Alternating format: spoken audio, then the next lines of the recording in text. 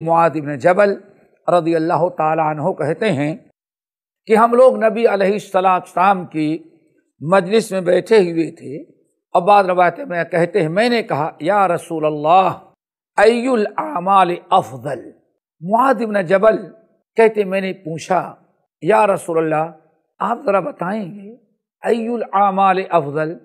سب سے بہترین اعمال کیا ہے؟ ای العمال افضل؟ سب سے بہترین عمل کیا ہے؟ یعنی روزے، نماز، حج، زکوٰۃ، یہ فرائض تو ادا ہی کر رہے ہیں۔ حت الامکان نفلی عبادات بھی کرتے ہیں۔ لیکن آپ ذرا بتائیں کہ سب سے افضل نیکی اور سب سے افضل عمل کیا ہے؟ پوچھنے کا مقصد؟ معاد ابن جبل کیوں پوچھ رہے ہیں؟ آج ہمارے اندر اور صحابہ کے درمیان میں یہی فرق ہے۔ وہ پوچھتے تھے، اس مقصد سے تاکہ اللہ رسول بتا دیں کہ سب سے افضل عمل کیا ہے، تو ہم خوب کثرت سے وہ عمل اپنائیں گے۔ عمل کے لیے سوال ہوتا تھا۔ یا رسول اللہ، ای العمال افضل؟ آپ بتائیں کہ سب سے بہترین عمل کیا ہے تاکہ ہم اس کو خوب کثرت سے کریں۔ تو نبی علیہ السلام نے ان کو تین عمل بتایا۔ ہم لوگ بھی اس کو یاد رکھیں۔ عمل کریں اور اللہ تعالیٰ سے توفیق کی دعا کیا کریں۔ افضل العمال بہت کچھ نے کیا کرتے ہیں لیکن یہ بھی کریں۔ فرمایا، معاذ، تم پوچھ رہے ہو کہ سب سے افضل عمل کیا ہے؟ تو سنو، سب سے افضل عمل تین ہے۔ اللہ کو محبوب، اللہ کو پسند، اللہ کو خوش کرنے والے، تمہاری مغفرت اور بخشش کا سامان اور اس کے اسباب۔ سب سے بڑے تین ہیں۔ احب العمال تین۔ نمبر ایک، ان تحب اللہ پہلا عمل تو یہ ہے کہ تم اللہ کے لیے، اللہ کے بندوں سے محبت کرو۔ حکم دیا جا رہا ہے دوست۔ التحب اللہ اللہ کے بندوں سے، اپنے بھائیوں سے، ایمان والوں سے اللہ کے لیے محبت کیا کرو۔ یعنی آپس میں عداوت، نفرت کے بجائے دل کی ساری قدورت بیماریوں کو ختم کر کے ایمان والوں سے تم محبت کرو اللہ کی رضا کے لیے، صالحین سے محبت کرو اللہ کی رضا کے لیے۔ یہ سب سے بڑا عمل ہے۔ اللہ اکبر۔ ان تحب اللہ تم محبت کرو اللہ کے لیے۔ اللہ سے حکم دے رہے ہیں۔ اس حدیث سے بھی پتا چلا کہ جس طرح سے ہمیں روز نماز کا حکم دیا گیا ہے، ایسے ہی ہمیں اپنے مسلمان بھائیوں سے محبت کرنے کا بھی حکم دیا گیا۔ آپ سے پوچھا جائے، یا رسول العمال افضل؟ کبھی پوچھا کسی نے، یا رسول اللہ، سب سے بہترین عمل کیا ہے؟ السلاۃ وقت ہے اول وقت نماز پڑھنا۔ دیکھا، یہاں معذب نے جبل پوچھ رہے ہیں روز نماز سب اعلیٰ درجے کے ہیں؟ ان کے پاس اعلیٰ درجے کی نیکیاں ہیں؟ روزے کی بھی پابند، نماز کے بھی پابند۔ انہوں نے جب پوچھا، یا رسول اللہ عمال افضل؟ تو معاد سب سے افضل عمل یہ ہے، ان تحب اللہ کہ تم اللہ کے لیے محبت کرو۔ کسی انسان سے، اپنے مسلمان بھائیوں سے، اپنے مسلمان بہنوں سے، مسلمان دوست احباب سے تم اللہ کے لیے محبت کرو۔ ان سے محبت کرنے کا حکم ہے تمہیں۔ نمبر دو وہ ان تب غیر اللہ اور اللہ کے لیے تمہاری نفرت ہونی چاہیے۔ کیا مطلب ہے؟ جس سے محبت کرو تو اللہ کے لیے۔ یا یوں سمجھے، دینداروں سے، مسلمانوں سے، اچھے انسانوں سے اللہ کے لیے محبت کرو ان سے۔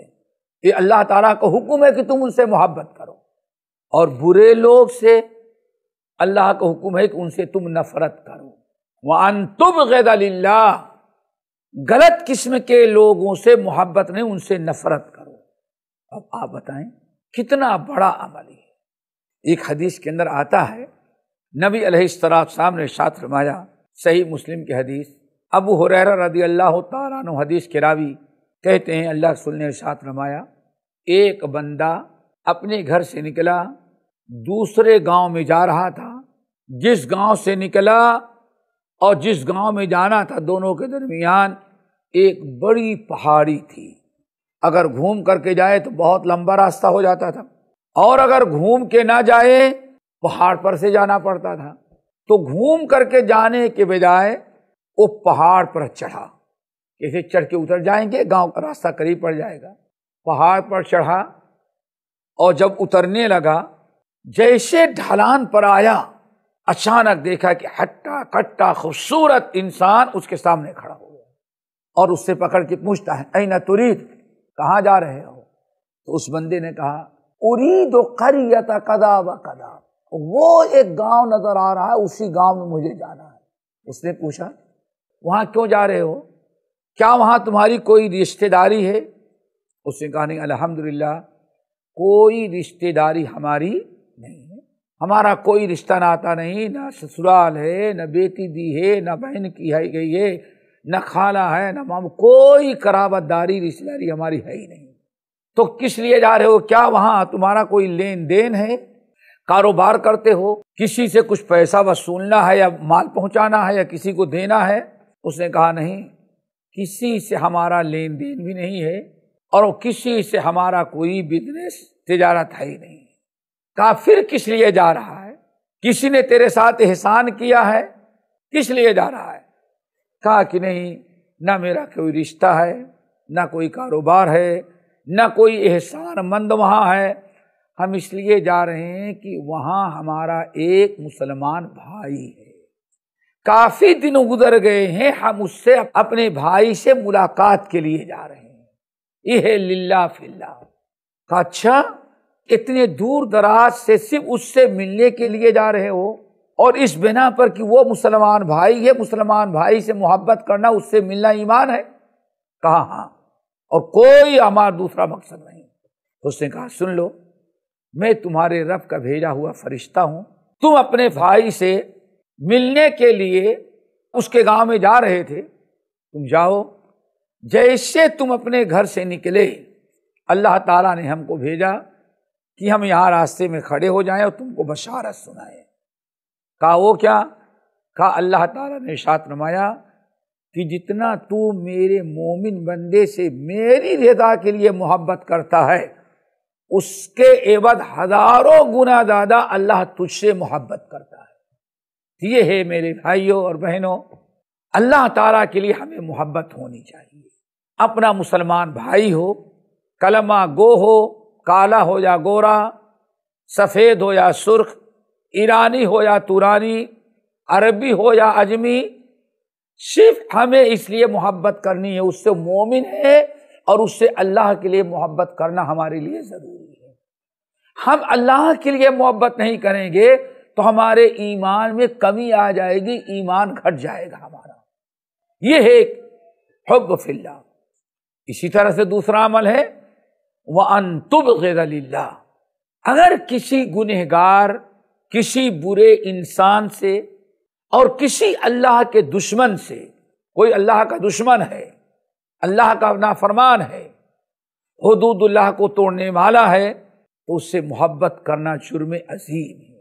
ایمان کا تقاضا اور افضل العمال یہ ہے کہ جیسے دینداروں سے، نیک لوگوں سے اللہ کے لیے محبت کرنا ضروری ہے۔ ایسے برے لوگوں سے اللہ اس کے رسول کے دشمنوں سے نفرت کرنا بھی ضروری ہے۔ یہ نفرت بھی اللہ کے لیے ہوگی۔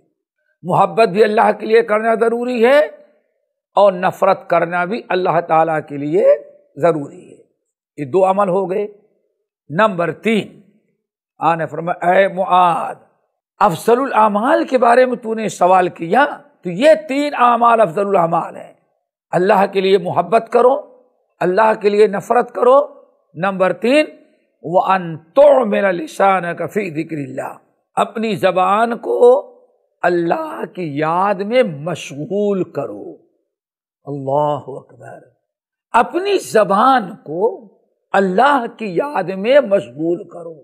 آج کتنا بڑا المیہ، ہمارا سارا وقت گزر جاتا ہے۔ ہماری زبان فضولیات میں مشغول رہتی ہے۔ وہ ان تو میلا لسان کفی بکر اللہ اے معاد بہترین عمل، سب سے بڑی نیکی، سب سے افضل عمل یہ ہے کہ وہ انتو میرا لسان فی ذکر اللہ تیسرا عمل یہ ہے، پہلا اللہ کے لیے محبت کرو۔ نمبر دو، اللہ کے لیے عداوت رکھو۔ نفرت کرو۔ نمبر تین وہ انتو میرا لسان فی ذکر اللہ ہمیشہ اپنی زبان کو ذکر الہی میں مشغول رکھو۔ کتنا فائدہ ہوگا؟